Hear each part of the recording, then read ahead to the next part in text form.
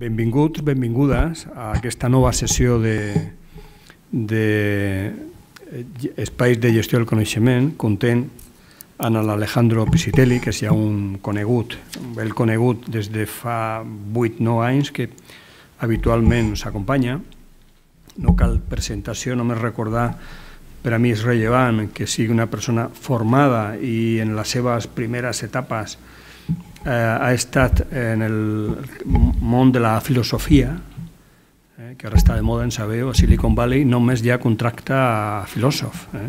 És allò de, que s'ha posat, eh, ja estem en la capa superior de les tecnologies informàtiques filòsof. Què volem fer en la tecnologia o per a què? N'hi ha tantes eh, paradoxes que s'estan qui podrà resoldre's? El, el, els filòsofs. Bueno, máster en Ciencias Sociales por la Flaxo, eh, en sistemas, en Ciencias de Sistemas por la Universidad de Louisville, eh, docente, gerente general, base del portal Educar en Argentina, eh, va dirigir Connectalac i en l'última època ha estat a Colòmbia, però sobretot a Mèxic, en les tres últimes, tres últims anys, fent el que eh, podem dir arquitectura d'experiències, que és la part més disruptiva de, per el sistema educatiu, canviant inclús la manera de, de, de, de dir-nos. Autor de molts llibres, molt, des del 97, pràcticament cada dos o tres anys. Té una, la última, la última va ser una trilogia, Nativos Digitales, el projecte Facebook, 1, arroba 1 derivas de la educació digital, una reflexió molt potent sobre educació digital, molt disruptiva. Conferenciante en todo el mundo sobre educación, tecnología, nuevas narrativas, internet, transmedia.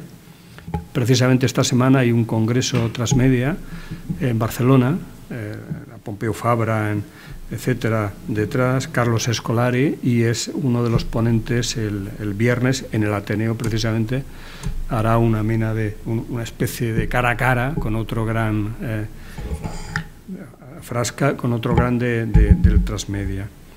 En la última época, y acabo, eh, hace tres años hablábamos aquí, cuando estaba más de moda de inteligencia artificial, eh, lado positivo, lado negativo, estábamos ahí estamos ahí. El año pasado hablamos de este, el estado de malestar, como Pinker decía, que no le hacemos caso, como humanidad hemos progresado mucho, más que nunca, y es datos objetivables, pero tenemos una percepción como que no estamos, a nivel global, como que no estamos contentos, es decir, una, una percepción de, de malestar. ¿Cómo, ¿Cómo encaja eso? Es decir, encaja bastante mal. Y este año, tirando del hilo, eh, ¿por qué no planteamos, se le sugirió Alejandro, entrar de lleno en, todo ese mundo de, de, de, del trabajo, del empleo, eh, de, hacia dónde vamos con esta pérdida aparente eh, en este esquema actual de puestos de trabajo en relación a la inteligencia artificial que está uh, laminando mucho empleo ¿Cuál podría ser el, el, el, futuro de todo eso? ¿A dónde podríamos, en una perspectiva global? Alejandro ha tirado de fuentes. Esta mañana, vía su Twitter, nos regalaba una publicación de 2016, entre ellos está Vicent Cler, el, fundador de, de, Internet, donde se aporta elementos, ahora lo explicará él, tapados en toda esta... Eh, nivel de, de, de, inputs que recibimos y que yo creo que hay que visibilizar y, darle el valor que tiene. Yo creo que eso es un poco la, lo, que, lo, que nos toca, lo que nos toca hoy. Decía Pinker, y, y quiero acabar ya con esto, que hoy lo que define la percepción del mundo son los titulares y las anécdotas en lugar de los datos y las tendencias. Y los algoritmos, también hablaremos de ello, no tienen todavía sentido crítico y no sé si los programarán con sentido crítico, con lo cual lo que es, se suben a la ola y la ola es más de lo mismo.